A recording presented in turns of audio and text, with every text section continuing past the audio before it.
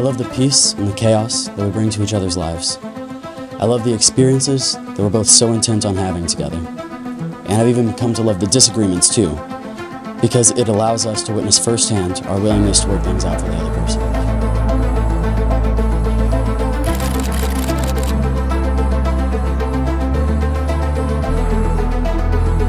Today, we're getting married. We're becoming husband and wife.